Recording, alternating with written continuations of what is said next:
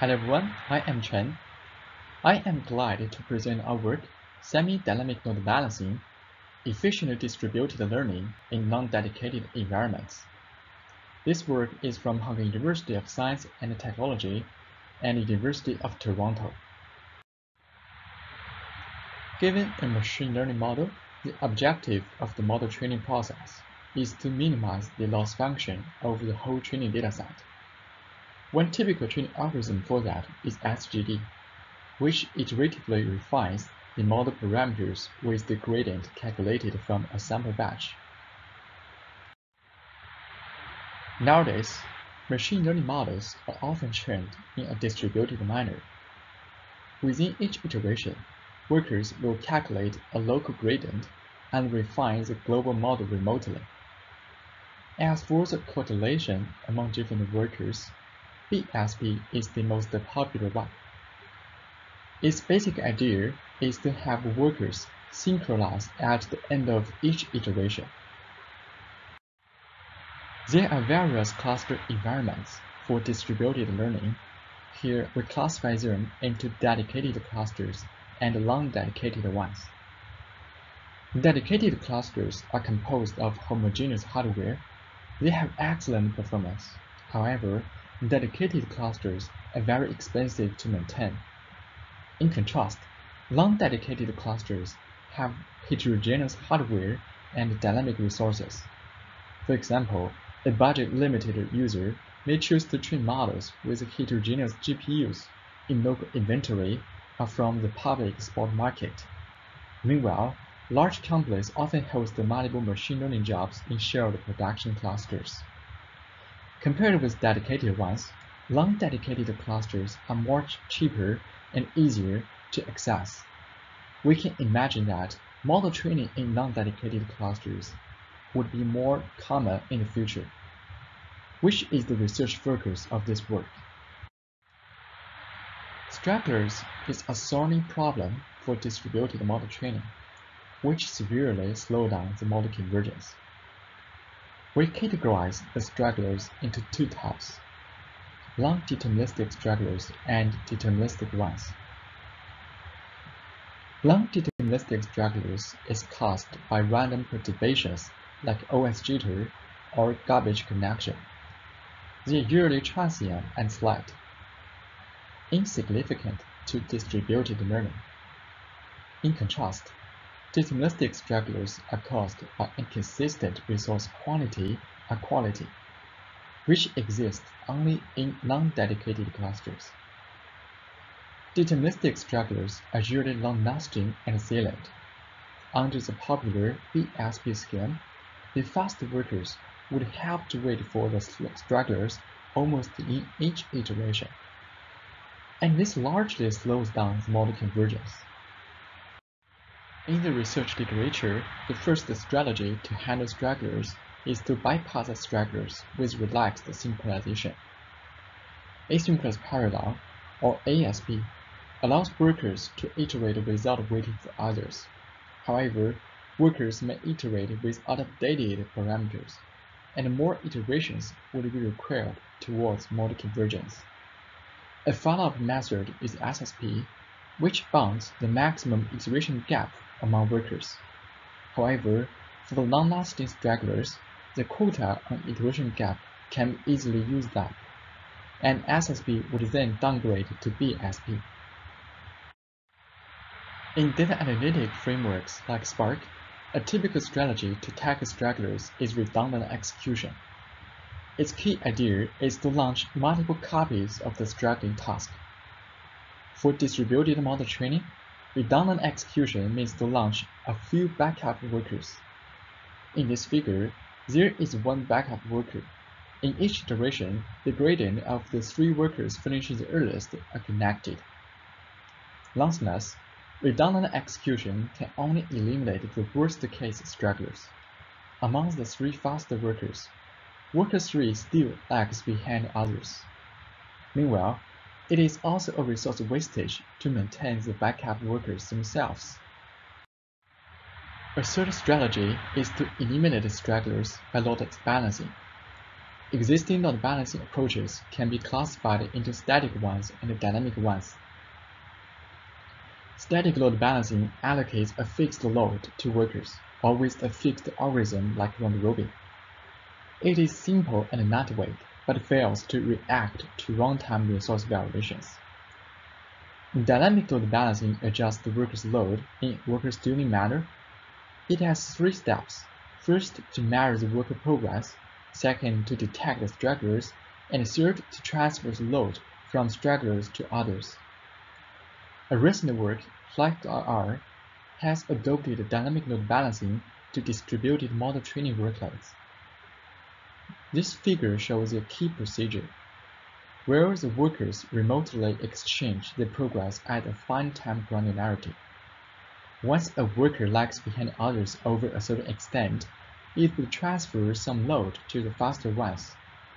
Yet, progress negotiation and load transmission is a huge communication bottleneck.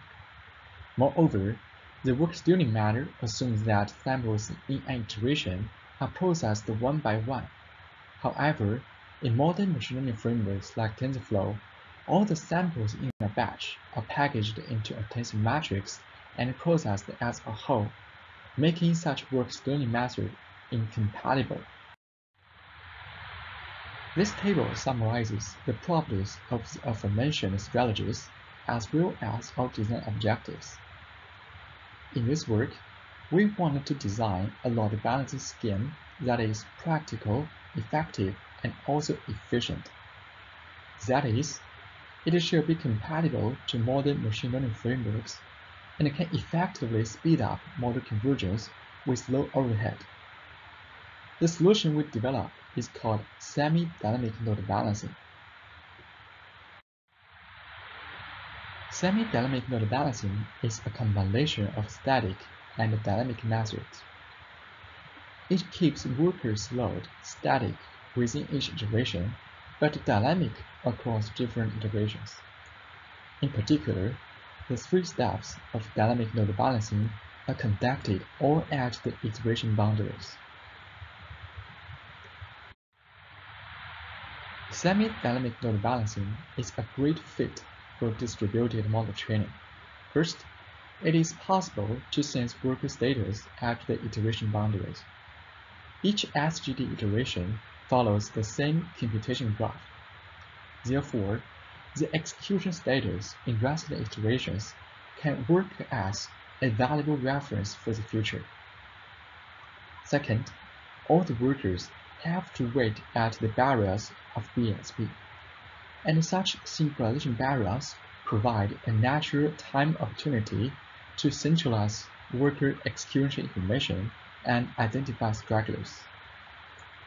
Third, the batch size is an ideal tool to control iteration load at the boundaries. Model training is a stochastic process and insensitive to particular samples. Therefore, by simply adjusting the batch size instead of remote sample transmission, we can attain the same load tuning effect. We further propose LBBSP by combining semi-dynamic load balancing and BSP. Its objective is to equalize workers' batch processing time by tuning batch size. Here, the batch processing time can be decoupled into two parts, computation time and communication time. Computation time is dependent to the batch size. In this work, we design an analytical method for CPU clusters and a numerical method for GPU clusters based on their own characteristics. Many traditional machine learning applications, like SVM, are usually trained in CPU clusters. Besides, long-urgent neural networks may also be trained with the leftover CPU resources. We first profile the static performance of standalone CPU workers.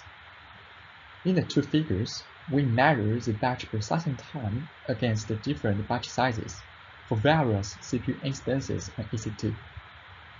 The batch processing time is proportionally determined by its batch size. we call the linear ratio as sample processing speed. The ideal batch size of each worker is proportional to its sample processing speed. However, that sample processing speed is dependent to the instantaneous resource. The two figures show that the CPU workers are slowed down severely after restricting the CPU and memory usage. Therefore, in shared production clusters, we need to predict the worker sample processing speed priori to each iteration. Then, how to predict the sample processing speed with the best load balancing performance? After exploring a series of related works, we found that NARX is a best fit. NARX means nonlinear autoregressive network with exogenous inputs. Basically, it is an extended recurrent neural network. It makes prediction with both the speed series and the driving resource series, like CPU and memory. By considering these driving resources, NARX is robust to random variations and can react to the resource variations timely. Next, we turn to LBBSP design in GPU clusters. In the two figures, we record the computation time against different batch sizes for various GPU instances on EC2. First, we find that communication time for GPU workers is no longer negligible. Second, there is a constant GPU notch overhead that any batch size must be. Third, the computation time is no longer proportional to batch size due to the GPU saturation effect, which means that the computation time is almost a constant if the batch size is small. Finally, given that all the model parameters and samples must be stored in GPU DRAM during model training, there is a limitation on the maximum batch size each GPU worker can serve. For GPU workers, providing a nonlinear relationship at runtime is inconvenient, which incurs extra programming and time overhead. Instead, a numerical method is more appropriate for GPU clusters. The GPU worker's batch processing time increases monotonically with batch size, and its performance is stable in most consecutive iterations. Therefore, we can iteratively adjust the batch size towards the optimal setup.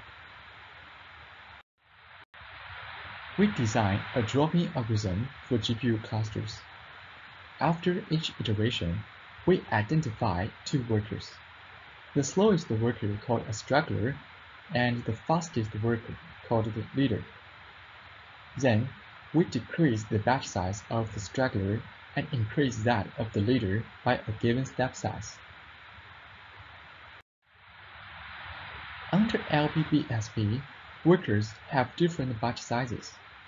We first find that a naive average would make the aggregated gradient biased to those from small sample batches.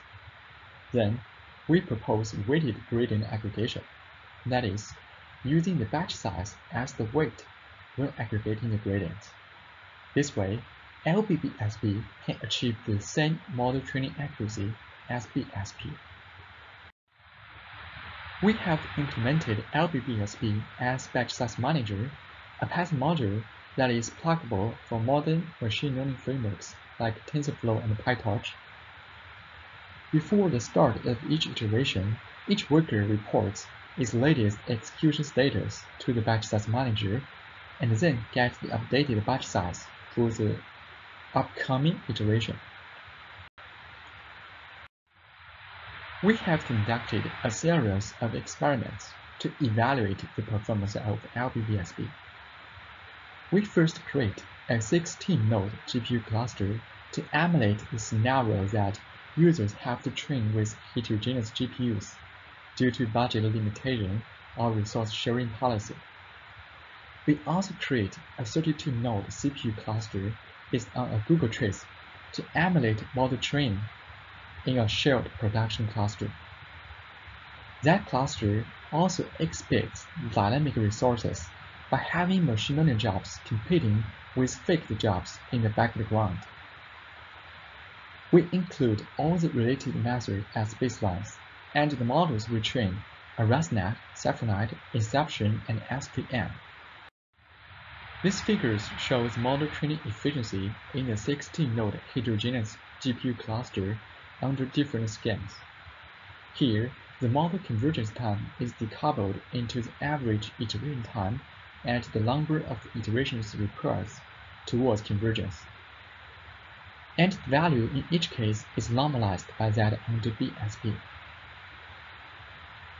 From these figures, LBBSP can remarkably reduce the iteration time. Meanwhile, it can reach model convergence with the least amount of iterations. As a result, it speeds up model convergence by over 54%. To better understand the performance of LBBSP in GPU clusters, we built a small cluster with four different GPU workers. And these two figures show the instantaneous batch per second time and batch size. Initially, with the same batch size, there is a large gap among worker batch processing time. And then that gap can be gradually reduced with the batch size automatically adjusted. Meanwhile, LBBSP can also react to network variations. At iteration 150, we downgrade a worker's bandwidth from 10 Gbps to 2.5 Gbps. LBBSP can soon counteract that by batch size tuning. Next, we turn to LBBSP performance in the CPU cluster. Here, RE means redundant execution with two backup workers. And flex FlexRR is the aforementioned dynamic load balancing scheme. From this figure, LBBSP can make the shortest average iteration time, outperforming the second best by around 40%. As for the prediction performance of NARX, in this figure, we present a snapshot of the predicted sample processing speed, as well as the real one. This figure confirms that, by considering the driving resources like CPU and memory, NARX is robust to random perturbations. And meanwhile, it can react timely to the deterministic stragglers caused by resource variations. To conclude, in this work, we found that stragglers in non-dedicated clusters should be load balanced in a semi-dynamic manner, by tuning the batch size at the iteration boundaries. In particular, Batch size should be adjusted in an analytic manner for CPU clusters, and in a numeric manner for GPU clusters. A prototype implementation shows that LBBSP can speed up model convergence by up to 54%. Thank you for listening to my presentation. Welcome for any questions.